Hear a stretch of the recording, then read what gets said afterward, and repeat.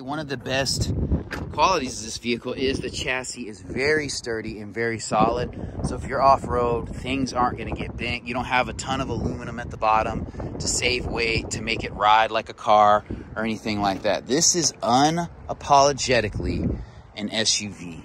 And I love that Toyota has kept it that way. If you don't want something like this, today we're going to take a look at an underrated, often overlooked classic of an SUV and in the past, this SUV has had its own challenges, one being the price. I mean, the resale value is great because it's a Toyota, but the price has not been worth it versus things like Explorers and Chevy, whatever model they have out because they change them so much. But this is a very high quality vehicle. It's not the most futuristic and modern in its looks inside or outside. It's more square, utilitarian looking, but I will say that in 20 years, you will see more of these on the road going strong than you will see of these.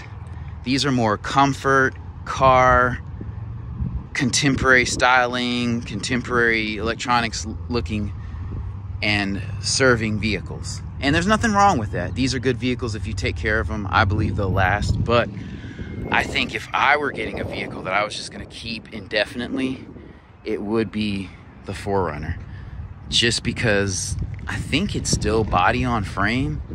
Um, but just walking around this one, you know, you have the ride height. I love these tires. These are probably like 16 inch wheels on good sized tires. So you do have some utility if you want to go camping or on a dirt road. Um, you got tow hitches on each and every single one of these not going to be as fast as a Telluride or a Palisade. However, if you're running a marathon, as far as keeping the vehicle, these are the way to go. So they do sit up a little bit higher, but if you can imagine, with the seats down all the way, you have plenty, plenty of cargo room. Even without them being down, there's plenty of space here. So that's dope. This is a limited trim. It does not have an automatic tailgate, which is okay. But this is good interior volume. Sorry, I didn't let that headrest down. This is a lot of space if you're needing to haul stuff. Or, but you do have to let the seat up pretty far just to get everything to fold down. Let me show you how easy these vehicles are, these seats are to move. So if you needed to get in this back seat, you could just do that to get in the back seat. You do have to climb up a little bit, but so putting this seat down is just a matter of flipping the switch and pushing it down. So before I get in, I will say, say these seats look more like jump seats so as far as like size to interior seating volume and space, um, the Palisade may have this SUV beat just because the back end sits up higher. So moving this chair back, I don't have a ton of room back here. This would not be super comfortable. I'm 6'1". I could sit back here for a little while. I wouldn't want to sit back here on like a road trip because with the floor being so high, my knees are sitting up closer to my chest. But this interior looks good. It feels high quality like any other Toyota. You do have vents there. The backs of the seats are hard, so they're not gonna like get soft and fall apart. Um, the backs of these seats are very nice, very solid. Um, you do have anchors here. If you're sitting back here, not too much entertainment. You do have a window, so that's super dope. Um, so you don't feel entirely claustrophobic. You have cup holders back here. Um, there are no vents or speakers, so you might want to have your iPhone charged and ready because there's no charger back here. But you can, like I said, let the seats down relatively easy with these buttons.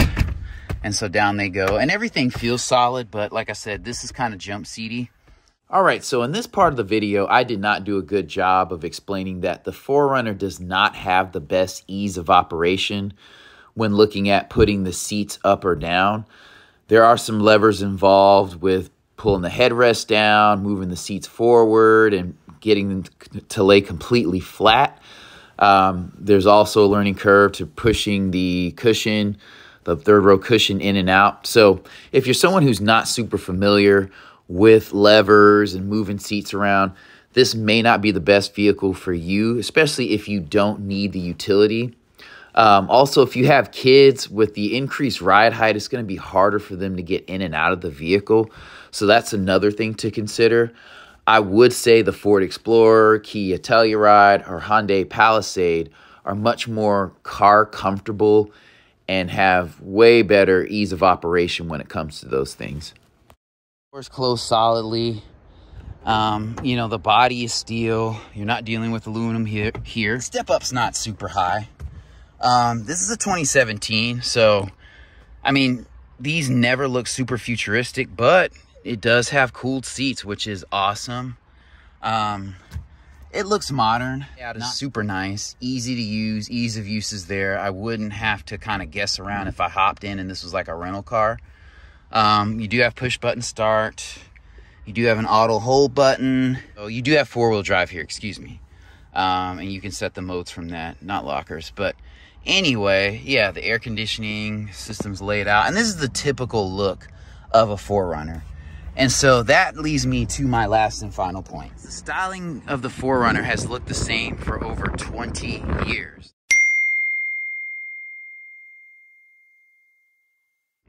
So you can get one and not have it look old because the manufacturer is very insecure and they keep changing the outside of the vehicle so frequently that it looks like another vehicle and you have to guess you know, what generation, that kind of thing, or if it's even the same vehicle. So here's another one stepping in. You know, the interior similar. The screen's a little smaller. This isn't as premium, but it does have comfortable seats, good bolstering here. Step and height's the same. Automatic driver seat. This is a 2016. Pretty similar. You can see the bumper is a little bit lower on this one um, this one seems to sit a little bit higher, maybe, maybe not. Um, here's the TRD. Let's take a look at that. Not an automatic tailgate. Again, I like this better with the darker interior. Notice this is a five passenger SUV, and I really don't mind that. Um, just for the utility that you get out of it. Usually you're not going to be doing a lot of dirt roads, trails, campsites in SUVs that seat seven or eight people. They're just too big. Um, but yeah, this has cloth seats back here. You do have an electrical outlet. So this covers all the basics. And I, I would say one of the best qualities of this vehicle is the chassis is very sturdy and very solid. So if you're off-road, things aren't going to get bent. You don't have a ton of aluminum at the bottom to save weight, to make it ride like a car or anything like that. This is unapologetically an SUV. And I love that Toyota is kept. Don't want something like this, you can get a Highlander. If you need something smaller, you can get a RAV4. But this is a very, very crispy and cool layout. Um, I've shown you three. I would show you four, but they're all the same. I mean, this interior feels good. The bolstering on this these seats is nice. So it's not super old school like an SUV where the seats are just flat and you're not really held and not that you're going to be turning crazy quarters corners in this anyway, but you know, you do have a little step up rail here, um, which is nice. The step in height is not super, super high, but you even have vents back here. And um, you have some net pockets. This is a 2019. So as you can see, this is a traditional key start, which I don't mind at all on an SUV. I love these SUVs and um, they have good strong engines. Like I said, they're not the fastest SUV, but it has a Toyota engine that's gonna outlast that one. And then 20 years down the road,